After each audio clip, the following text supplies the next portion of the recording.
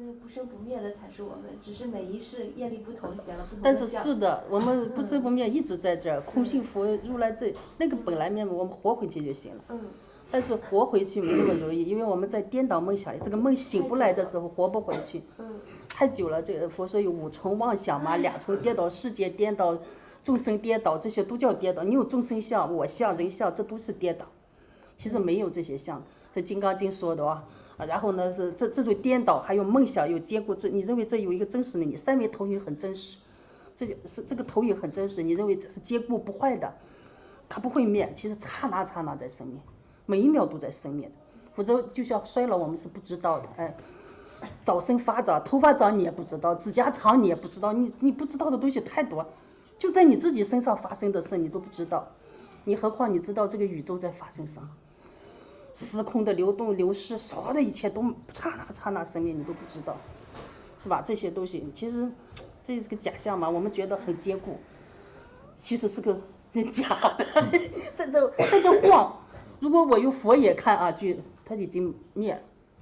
而且随着时空已经当初发生，随处灭尽，就是连时间跟空间，连这个地方都灭了，连蜘蛛缘都跟着它灭，就是连连时空都是假的嘛，它就无佛学里边叫无生界嘛，万法本无生。我我有个道理，嘛，对呀我理解不清。佛说一切都是假的，一切都是空的，是吧？嗯。那我修佛干啥呢？我修佛修的这都是空的，谁享受佛不乐呀？，是让你回我也是到假的，也没有对我了。我修修成佛，这佛的谁享受啊？不，它是指的是这个说一切假的空的是是一个修正的说法，就是因为你现在执着有，执着了有，执着了就是不空，一切是真实的，执着了散乱，你很散乱嘛，不停不的生灭嘛，你觉得你是生老病死的是吧？我们是生死的，哎，有有生就有死的嘛。现在佛不是要让你永恒不死嘛？你不是要，而且解脱轮回嘛？比如说不轮回嘛？那么这是个方法，就是说。他告诉你，这个生灭的这是个三维投影，而你的本性是如来，本性是如来。现在为什么你觉得三维真实？你不知道如来的境界嘛？你活不成是佛的境界。那么他说你要活回去，你要活回去，先把这个当假的，你要活回本来的自己。哎，假名。哎，就说建立空啊，建立定啊，建立说是把它看成梦幻泡影，这都是为了你回去，回去做的方法。因为你这样认知，因为你的认知是这是真的，这个是坚固的，那么先让它空梦幻泡影，先让它假，这样你就能回活成真实的你，活回你是佛的境界，就是真正的你是佛，不是这个三维的这个这个女人或者男人，你是如来，是非男女相，非没有任何形象的。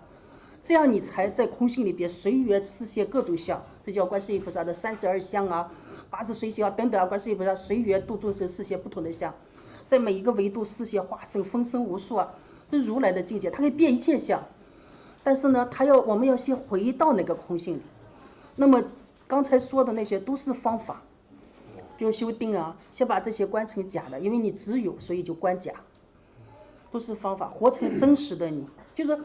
你现在我们不是说我们要爱自己啊，我们要什么这要自己心灵的归宿啊，我们，但你连你自己是谁你都不知道，你怎么找归宿？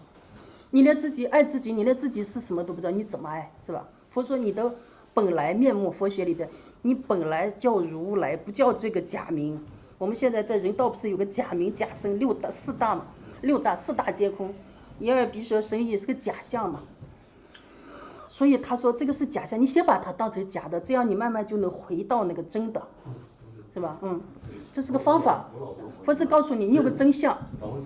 哎，对你有个呃真的，空哎空，就说你是个真的，这个真是无形无相的，你回不去，这个真叫如来，这才是我们每个人的本来面目，它是不生死的，它没有生死，没有轮回，所以它就就像我们呃古时帝王一直找长生不老嘛，这个没有生灭，它就是永恒的嘛。比如我们经常苦就苦在一切在生灭里边，善会变恶，好会变坏，老会变变死，就是生生灭灭我们就苦嘛。我们喜欢的东西会失去，啊，佛说人间有八苦啊，怨憎会苦啊，爱别离苦，跟相爱的人分离啊，你所有爱的人会死亡等等是，还有怨憎会，你不喜欢的人每天聚在一起，喜欢的人离得很远，呃，求不得，想求一个东西得不到，不是人间八苦，生老病死等等。这些苦怎么解决呢？你回到你的真实的你就解决了，就说你只要做回真实的你，真实的你无形无相，它就没有这些苦，它就没有轮回，也不会死，这叫无。时间跟空间会消失，就就说你从来就不出生，怎么会有死呢？无生嘛。时时间都是个假象，你不是生在几几年吗？时间都假的，你怎么会出生呢？所以他从六根来修嘛，修修修，你回到本来的样子的时候，这一切都这个假象你就知道啊，知道佛说的，哇，这是个梦，你就叫觉醒者，觉者嘛为佛，迷者为众生嘛。但是你这个觉者醒来的过程，所以佛说的经典都是让你回去的方法。相对于你的执着，相对于你的散乱，建立了定，建立了定这个法门，让你散乱，所以让你静，让你止，因为你又执真实，所以让你看空，看梦幻泡影。它这是个回回到本来样子的一个状，就是一个漏过程。过程，嗯。打个比方，是不是我原来是杯清清水，现在受污染成为茶水了？如果要想回到清水的境界，现在把它倒出来。不是。空的过程是不是指的是这个过程呢？空的过程是，你是个浑浊的水，你这个六根浑浊了。做佛也是你这个六根最后成佛嘛，你见假修真嘛。真跟假并没有区别，空性是无形无相的，因为你这个假是幻影，所以你没必要去掉它。你会去掉幻影吗？如果你这个我这个六根是个假的，像虚空一样的假象，我为什么要去掉它？你跟幻影斗争吗？你为什么要去掉这个幻影？如果你要去掉这个幻影，那么你已经把它当真了。我只需要我，假如我是杯水，如果我只需要成佛，我只需要这杯水放在这儿不动，让它沉淀下去，让它静下去，静下去就是慢慢慢慢沉淀。所以你要定，坐在这儿不动，不要晃它，对，不要晃动，对。任何东西，这个世界学任何呃知人世间的知识，都是拼命的去奋斗。只有成佛是静下来不动。你看，他是静下来，让你意识都停下来，不动，然后让这个，他说你这个浑浊就像你的梦想，颠倒梦想。人力有很多局限性导致的认知叫颠倒梦。这个这个沉下来，这个水就是颠倒梦想，慢慢慢慢消失了。然后你本来就是佛，本来的样子就呈现出来了。成佛不是你修来的，是本来的东西让它显现出来，所以它不动就能到达。如果是你从一个凡夫变成一个佛，那你要奋斗啊，你怎么能不动啊？你要开着法拉利跑啊，是吧？你要开着赛车跑，你你你你你跑越跑，但是成佛它是两，它是不动，不动就决定了你本来是，就是我们本来是佛，通过不动回归，就是回到你的本来样子。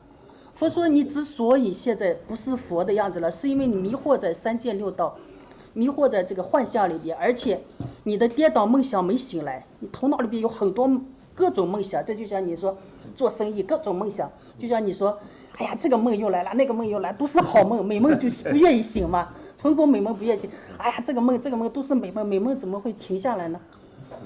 一般停下来都是做了噩梦才停下来，是吧？逼着停是吧？现在都美梦在那，为什么要停？所以美梦不行。但现在修行的人是美梦噩梦我都停，我我就不干了，啊，不跟不跟不跟你这个梦境玩了，那么所以修行他们就是这样，辞职不干了，就是这些梦全停下来就，然后停下来这个这个梦就醒，就就像那个浑浊的水开始沉淀，沉淀下去本性显露。当你成佛了回来以后，再回到这个人道了啊，这是三维，你可以去四维、去五维、去六维，随便去，因为你成空性了嘛。三维是时空，只是在你佛空性里边，随起个念就能实现的东西，就是神通变化，那叫神变了，就是游戏毕竟空。你吃苹果也行，吃你随便你学，但是你心无痕迹呀，你在空性里已经无我了，所以你不会在空性留下痕迹，所以你不会受善恶业的控制轮回。你可以随缘，我想轮回就轮回，我不轮回也可以。我们可以想去任何一个世界维度，我都可以去，就有选择了嘛？就命运完全掌控在你手里了。就是人，就人道众生认为的命运啊，其实对你也谈不上命，因为你无我。无我叫空性，无我那个我叫佛。无我是相对于人力说，你没有三维投影这个我了，但你有一个圆觉的我。但这个我是无形无相的，所以它区别于上帝啊，区别于其他宗教。其他宗教是有一个体的，就人类认知的一个个体的，有形的，有相的，比如上帝啊、梵天啊，你可以跟他合一，成为跟他合一，受他加持。但佛学是，我有一个圆觉的如来我，但是这个我是无形无相的，你不需要，你不能以以名相来见我，就是你不能以名相来认知我，我无形，所以道不可说。就说你有一个概念，它都是错的，所以它不能迷信嘛。这个，但这个我是存在的，它不是不存在的。这个我是无形无相的一个我，无处不在的一个我，就是当你成佛以后，你是一切。无形无，因为你无相，所以这个杯子也是你，这个苹果也是你，这叫一花一世界，一叶一如来，一片树叶都是如来。所以你可以随缘起用，法力无边，在宇宙中就没有人打过你了，就这样。你知道这才是我们自己啊，每个人的自己呀、你为什么不活成这样，活成人力赚三个亿呢？你想想吧，这个三个亿比哪个厉害哦？所以发发心这辈子用来修行是可以的哦，我我觉得是划得来的，我是算过的，我觉得不亏，不亏，说的更多。这太多了，这太厉害了，当时读佛经的理解上还是有还是有偏差。佛经不行。看了听到说，哦，我读佛经上的是是看不明白。你看的少吗？你看了三年，我看了三十年，所以 比你多一点，是吧？